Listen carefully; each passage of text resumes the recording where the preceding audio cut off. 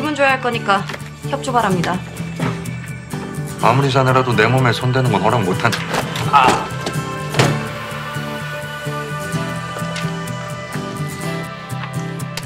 내가 쉽게 제압당했다는 생각은 말대.